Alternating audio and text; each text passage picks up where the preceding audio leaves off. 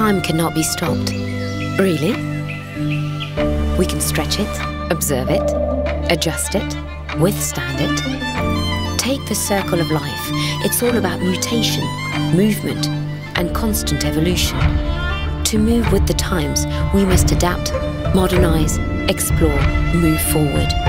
To understand our surroundings, we need to let the elements inspire us, to study the power of nature and travel its roads. To master time, we have to invent a new way of traveling that will take us on a ride to the obvious. Electricity.